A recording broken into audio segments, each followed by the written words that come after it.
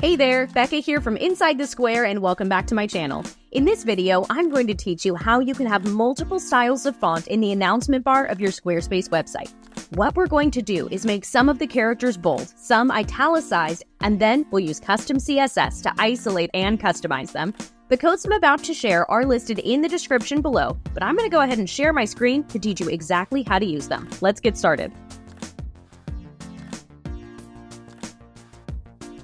Here we are inside Squarespace, and I'm using the Rossetti demo. If we scroll down here, you'll see we have an upcoming event, the annual plant sale. So that's what we're going to have in our announcement bar. But first, we need to turn on the announcement bar. I'm going to navigate to Website, I'll select Website Tools, and here I can select Announcement Bar.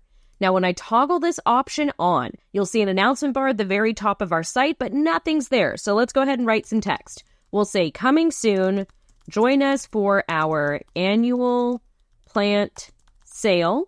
And let's finish this with learn more. That will be our call to action. Now I'm going to highlight the text coming soon and I'll make that bold. And then I'll highlight learn more. We'll make that italicized. And here for the click through URL, let's go ahead and link this to our events page. I hit forward slash on my keyboard and I'll say events. That'll take them to our events page.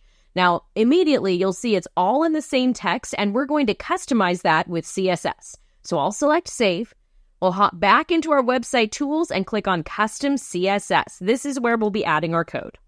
The first code I'm going to use says SQS announcement bar strong. The word strong is going to isolate just the bold text in our announcement bar. Let's open up a curly bracket and I'll say font family Granville. This is a font that's already installed on the site, and instantly we can see the text change. Now it's a completely different style of text than the rest of the announcement bar. Let's go ahead and scoot it a little bit to the left so we've got more of a separation between that text and the sentence so it'll stand out even more. Let's say margin right 15px. Now we've got a space between coming soon and join us. So there we go.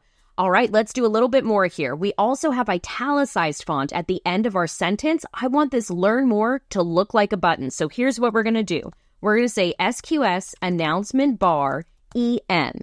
EM stands for emphasis, and that'll isolate just the italicized text. I'll open up a curly bracket, and the first thing I'll say is font style normal. That will reset those italicized characters. All right, let's go ahead and say text transform uppercase. Now they're uppercase characters, and here's where it gets even cooler. I'm going to say border 1px solid white, and we'll now get a border that makes that look like a button. Okay, let's add a little bit of padding to it as well. I'm going to say padding 5px. That gives us a little bit of distance between the edge of the border and the text inside of it. And last but not least, let's also scoot this button to the side so we've got that same amount of distance as we have here between coming soon and join us. I'll say margin left 15px. And there we go. Now we have different styles of font in our announcement bar by isolating the bold font using the word strong and italicized font by using the characters EM. These are just a few creative ideas of ways that you can customize your announcement bar. If you want to learn more about font and text properties that I use in my custom codes, visit insidethesquare.co forward slash text guide. And whatever you've decided to change, select save when you're done, and you'll be good to go.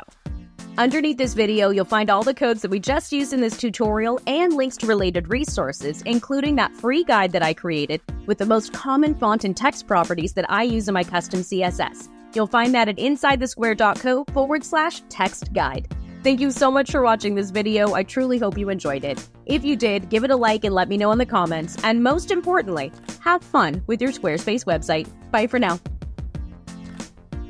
Find everything you need to make Squarespace uniquely yours at InsideTheSquare.co. That's InsideTheSquare.co.